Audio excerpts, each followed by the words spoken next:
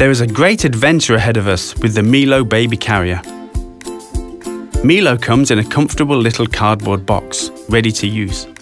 Its optimal size and wide range of adjustments make it perfect for the parent and the child. Milo is easy to put on. We put the baby carrier on our hips and fasten the buckle. It must be carefully adjusted so that it's not too loose. Now we move the carrier forward.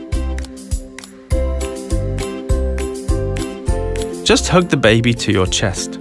Holding baby, slide your hands into the shoulder straps, one after the other. Fasten the buckle on your back. It can be adjusted for height. Adjust the fabric on the back and place the baby in the seat. The legs should naturally form the letter M. Sagging straps can be shortened using elastic bands at their ends. To ensure that the fabric wraps the baby well, we tighten the belts at the side buckles. Milo uses an innovative solution to shorten the height of the panel. Thanks to this, even the youngest children have an ergonomic and safe position in the carrier.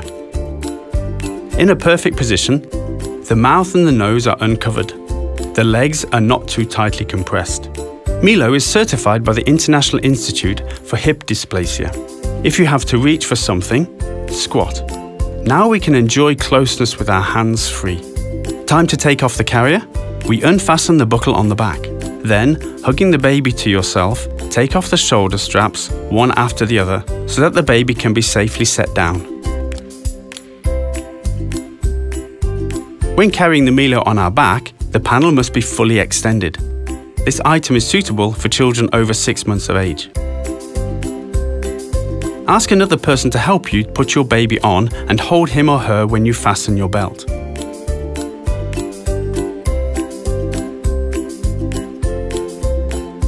We fasten the buckle on the chest.